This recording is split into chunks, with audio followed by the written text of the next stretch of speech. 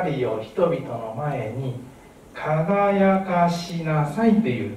輝かしなさい。輝きなさいじゃなくて輝かしなさいって書いてあるんですね。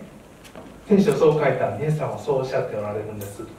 この中からあの一つ先生の幼稚園の時のことを少し紹介してお話をしたいと思います。あの松田先生は幼稚園はキリスト教の幼稚園でした。ルーテル双葉幼稚園という幼稚園です。双葉幼稚園。石田さんご存知ですよね。ルーテル双葉幼稚園。双葉というのはあの2の8とこう書くんですけど電話番号も面白くてあの28の2814なんですね。双葉の半分で14っていうふうにこうすごい番号を選んだなというふうに思いますけれども、まあ、それはちょっとあのメッセージはちょっと横に置いといてあのそのルーテル双葉幼稚園幼稚園に先生が幼稚園の時です。4歳か5歳ぐらいの時です。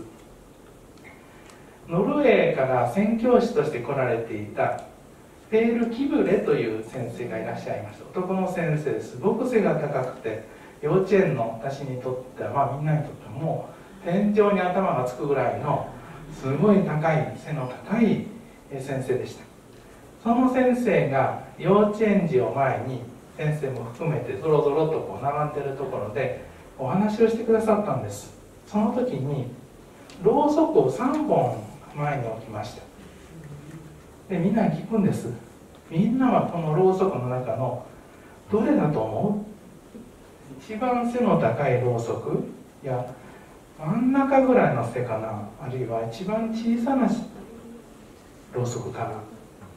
さあラブ君どどうですか？自分は。今考えてますね。いいですよ。考えてください。で幼稚園ですからねその時は。で「はいはいはいはい」とこう手を挙げて一番小さいろうそくって言ったんです。体小さいから。そしたら先生は「違う」って言うんです。違う。え？じゃあ真ん中ですか？そしたら違う。皆さんは一番長いろうそくですよと。一番長いろうそく。それを聞いた時にへってなったんですね。え？体は小さいまだまだちっちゃい。もうあの本当にちっちゃい幼稚園ですから。でも一番長いろうそくとその木暮先生っていう先生がおっしゃられた時にみんなへっとこうなった時に先生はこういうふうに言ってくださったんです。皆さんはこれから大人になってそしていろんな仕事についていろんなことをきっとしていくでしょうと。その時にイエス様の光を輝かせてくださいねと。ということはみんなの将来はこれぐらいありますよと。まだまだこれからですよと。皆さんは一番長いろうそくです。でその当時40後半だった先生は僕はこれぐらいかなっていうふうにこう言ってました。これだけあったらこれだけ分イエス様の光を輝かしてくださいねとこう言ってくださったことを忘れることができないんですね。だって皆さんはどのろうそくですか？どうでしょう？まあ一番いや これぐらいどうですか？ね？どれぐらい長さがあるかどうかっていうのはまだ分かりませんよね。で100歳の方からすれば80歳と若いんですね。で100何歳って言っても昭和1桁だったら若いわねっていうふうにもう一斉になると思います。若いかどうかっていうのはそれぞれ相対的ですけれど皆さんはそれぞれろうそくのをがろうそくであってそのろうそくの光をイエス様の光を輝かし続けてくださいねというのは今日のイエス様の話です。でもこのままだとろうそくのままですね。ろうそくのままです。じゃあどうしたらろうそくの火にろうそくを光を輝かすことができるのなぜか芯がちょっと短かったのかいろいろ実験したんですけどね。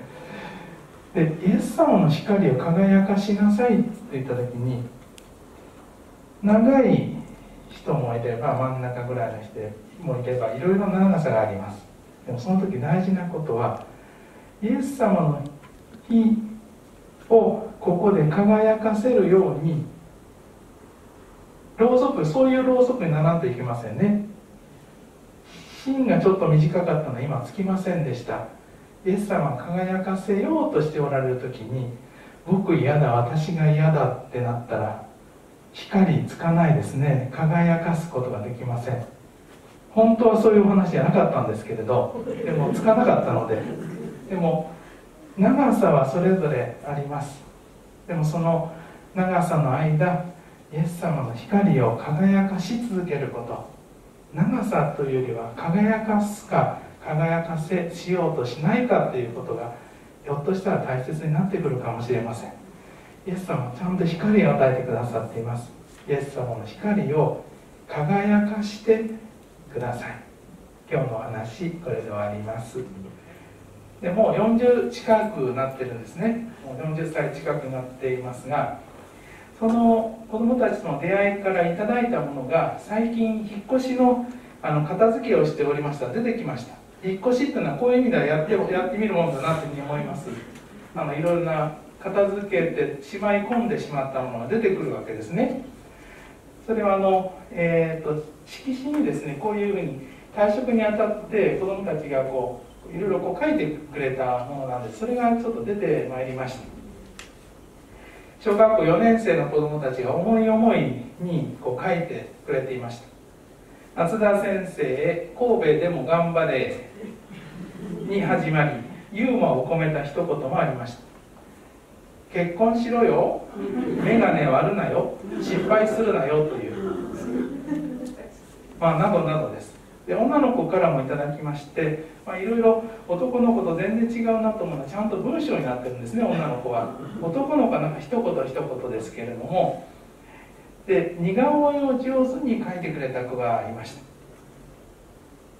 でこれが松田先生とこう矢印しながらあのかっこいいとこう書きながらも「どこが?」と書いてあって「どこが?」っていうふうに書いてあるまあ、当時の子どもたちがいろいろこう寄せてくれたものだったんですがその中の一人の男の子が今から10年ぐらい前だったでしょうかわざわざ教会まで遊びに来てくれましたそして近くのうどん屋さんに一緒に行ってご飯を食べた時にこう自分が JR の運転手をしているというお仕事の話やら、まあ、担任していた時のクラスでのいろいろな思い出とか感想とかを聞く機会となりました。イエス様の愛神様の愛は本当にじっとはしていません。私たちのために絶えず動いています。そしてまた私たちもそれに応えて動こうとしています。どうか過去形でとどまるのではなくて今従っていること今従っていることをどうかイエス様一言一言の中でまたイエス様から言葉をいただく中で私たちに示してくださりお与えくださって一言を使って用いていただいて動き出すことができますように導いてください。言葉を感謝します。イエス様の皆によって感謝してお祈りをいたします。アーメン。